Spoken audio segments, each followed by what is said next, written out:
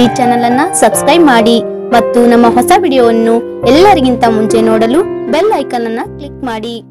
ನಮ್ಮ ರಾಜ್ಯ ಸರ್ಕಾರದಿಂದ ರೈತರಿಗೆ ಸಿಹಿ ಸುದ್ದಿಯನ್ನು ನೀಡಿದೆ. ರೈತರಿಗೆ ಅನುಕೂಲವಾಗುವ ನಿಟ್ಟಿನಲ್ಲಿ ಕೇಂದ್ರ ಸರ್ಕಾರ ಹಾಗೂ ರಾಜ್ಯ ಸರ್ಕಾರಗಳು ರೈತರಿಗೆ ಹೆಚ್ಚು ಅನುಕೂಲತೆಯ ಅನೇಕ ಯೋಜನೆಗಳನ್ನು ಜಾರಿಗೆ ತರುತ್ತಿವೆ.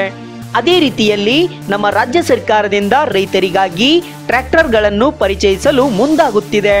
ಅಂದರೆ ಅನ್ನದಾತರಿಗೆ ಅನುಕೂಲವಾಗುವಂತೆ ಟ್ರ್ಯಾಕ್ಟರ್ಗಳನ್ನ ಪರಿಚಯಿಸಲು ಸಮ್ಮಿಶ್ರ ಸರ್ಕಾರ ಚಿಂತನೆ ನಡೆಸಿದೆ. ಅದು ಹೇಗೆ ಅಂದರೆ ರೈತರು ಬೆಳೆದ ಬೆಳೆಯನ್ನು ಒಂದು ಕಡೆಯಿಂದ ಮತ್ತೊಂದು ಕಡೆಗೆ ಸಾಗಿಸಲು ರೈತರು ಹರಸಾಹಸವನ್ನ ಪಡುತ್ತಿರುವುದನ್ನು ರಾಜ್ಯ ಸರ್ಕಾರ ಈಗ ಗಮನಿಸಿದೆ. ಈ ಸಮಸ್ಯೆ ನಿವಾರಣೆಗಾಗಿ ಓಲಾ, ಊಬರ್, ಕ್ಯಾಬ್ಗಳಂತೆ ಆಪ್ ಮೂಲಕ ಟ್ರ್ಯಾಕ್ಟರ್ಗಳನ್ನು ರೈತರು ಬುಕ್ ಮಾಡುವಂತಹ ಯೋಜನೆಯನ್ನು ಜಾರಿಗೊಳಿಸಲು ರಾಜ್ಯ ಸರ್ಕಾರ ಮುಂದಾಗುತ್ತಿದೆ.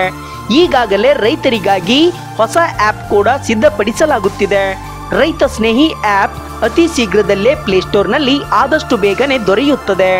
ಆದಷ್ಟು ಬೇಗ ರೈತರು ಈ ಆಪ್ ಅನ್ನ ಡೌನ್ಲೋಡ್ ಮಾಡಿಕೊಂಡು ತಾವು ಬೆಳೆದ ಬೆಳೆಗಳನ್ನು ಮಾರುಕಟ್ಟೆಗೆ ಸಾಗಿಸಲು ನಿಮ್ಮ ಮೊಬೈಲ್ ಮೂಲಕವೇ ಆನ್ಲೈನ್ನಲ್ಲಿ ಟ್ರ್ಯಾಕ್ಟರ್ಗಳನ್ನು ಬುಕ್ ಮಾಡಬಹುದಾಗಿದೆ.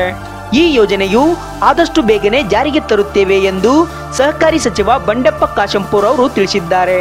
ಹಾಗೂ ಕೃಷಿ ಗೋದಾಮುಗಳಲ್ಲೇ ಟ್ರ್ಯಾಕ್ಟರ್ ವ್ಯವಸ್ಥೆ ಮಾಡಲಾಗುತ್ತಿದ್ದು, ರೈತರು ಯಾವಾಗ ಬೇಕಾದರೂ ಬುಕ್ ಮಾಡಿ ತಮ್ಮ ಕೃಷಿ ಉತ್ಪನ್ನಗಳನ್ನು ಸಾಗಿಸಬಹುದಾಗಿದೆ. ಇನ್ನು ಇದರ ಜೊತೆಗೆ ಕೃಷಿ ಉತ್ಪನ್ನಗಳ ಖರೀದಿ ಮತ್ತು ಮಾರಾಟದಲ್ಲೂ ರೈತರಿಗೆ ಅನುಕೂಲವಾಗುವ ಕೆಲ ವ್ಯವಸ್ಥೆಗಳನ್ನು ಕೂಡ ಮಾಡಲಾಗುತ್ತಿದೆ ಎಂದು ತಿಳಿಸಿದ್ದಾರೆ. ಒಟ್ಟಿನಲ್ಲಿ ರೈತರಿಗೆ ಇನ್ನು ಮುಂದೆ ತಾವು ಬೆಳೆದ ಬೆಳೆಗಳನ್ನು ನಮ್ಮ ಹತ್ತಿರದ ಮಾರುಕಟ್ಟೆಗೆ ಸಾಗಿಸಲು ಓಲಾ, ಊಬರ್ ಟ್ಯಾಕ್ಸಿಗಳನ್ನು ಬುಕ್ ಮಾಡಿದಂತೆ ರೈತರು ಕೂಡ ಟ್ರ್ಯಾಕ್ಟರ್ಗಳನ್ನು ಬುಕ್ ಮಾಡುವ ವ್ಯವಸ್ಥೆಯ ಯೋಜನೆಯನ್ನು ಜಾರಿಗೆ ತರಲು ರಾಜ್ಯ ಸರ್ಕಾರ ಮುಂದಾಗುತ್ತಿದೆ. ಹಾಗಾಗಿ ನಿಮ್ಮ ಅನಿಸಿಕೆಯ ಪ್ರಕಾರ ಸರ್ಕಾರದ ಈ ಯೋಜನೆಯು ರೈತರಿಗೆ ಎಷ್ಟರ ಮಟ್ಟಿಗೆ ಉಪಯೋಗ ಆಗುತ್ತೆ ಎನ್ನುವ ನಿಮ್ಮ ಅಭಿಪ್ರಾಯವನ್ನ ನಮಗೆ ಮರೆಯದೆ ಕಮೆಂಟ್ ಮಾಡಿ. ಹಾಗೂ ಈ ವಿಡಿಯೋವನ್ನು ಎಲ್ಲ ರೈತ ಮಿತ್ರರಿಗೂ ಕೂಡ ಶೇರ್ ಮಾಡಿ.